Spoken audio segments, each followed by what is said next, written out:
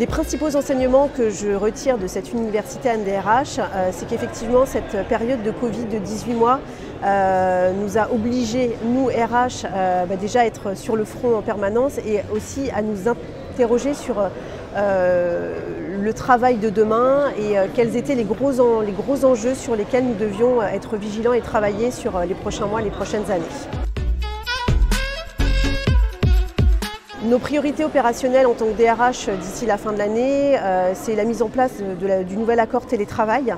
euh, qu'on a signé donc en début d'année euh, et avec effectivement tout le cadrage que ça nécessite et puis aussi d'accompagner les collaborateurs dans la reprise du travail sur site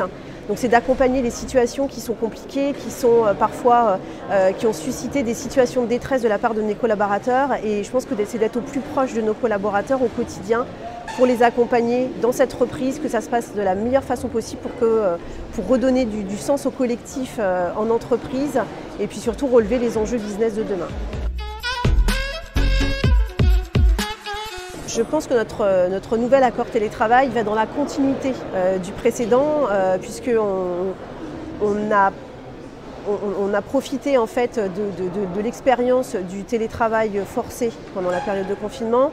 pour, un, euh, se rendre compte que le télétravail, ça permettait aussi aux collaborateurs de pouvoir allier au mieux la vie professionnelle et la vie personnelle, et que ça leur laissait du temps, effectivement, parfois des temps de respiration dans la semaine de travail, mais qu'en même temps, euh, le full télétravail n'était pas envisageable, euh, parce que ça isole aussi les collaborateurs du monde de l'entreprise, et qu'il est quand même important euh, pour la pérennité des entreprises de, construire, de reconstruire un collectif et le, travail en mode collaboratif.